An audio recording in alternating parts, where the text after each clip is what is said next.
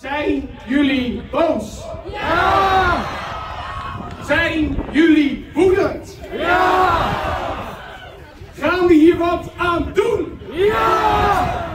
Hoe laat is Zondagmiddag stond de Lammermarkt in het teken van het woonprotest Leiden. De bond Precaire Woonvormen, die de manifestatie organiseerde, haalde daarbij hard uit naar de politiek, particuliere verhuurders en studentenhuisvesters. Huizen zijn voor mensen. Niet voor winst! Huizen voor mensen. Niet voor winst! Nou, het, het probleem is enorm. Eh, dat zie je niet alleen maar aan de wachtlijsten. Dat zie je aan ja, iedereen met wie ik spreek heeft. zeg maar, de huren zijn voor iedereen te hoog. De koopprijzen zijn voor iedereen eh, te hoog.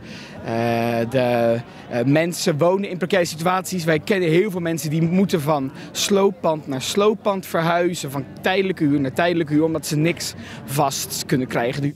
Naast demonstranten waren ook verschillende politieke partijen op de manifestatie afgekomen om campagne te voeren voor de komende gemeenteraadsverkiezingen. Daar was de organisatie niet onverdeeld positief over. Wie hebben ons verraden? Sociaaldemocraten! Wie hebben ons verraden? Sociaaldemocraten! Volg ons of ga aan de kant.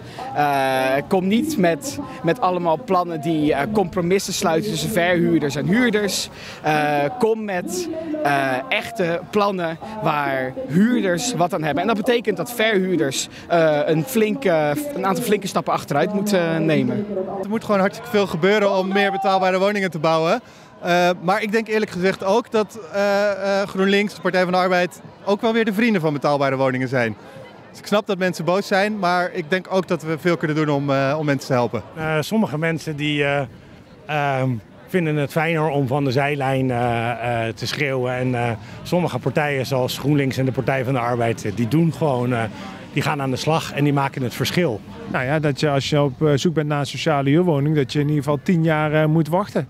En uh, je ziet ook uh, dat het probleem ook zit in uh, dat die huurprijzen steeds meer stijgen. Dus steeds meer mensen moeten een steeds groter gedeelte van hun inkomen betalen aan huur. En ja, dat begint nijpend te worden. we hopen dat nu met deze demo in Leiden echt het idee begint te ontstaan van als de huurders iets willen doen, dan moeten ze het eerst samen doen. En de politiek die komt er dan hopelijk achteraan. Na afloop van de manifestatie trokken de demonstranten in een protestmars door de stad. Een deel van de groep richtte volgens de politie onderweg vernielingen aan. Ze werden bij station Leiden Centraal opgewacht door de mobiele eenheid. 23 van hen werden gearresteerd. De meeste zaten maandagmiddag nog vast.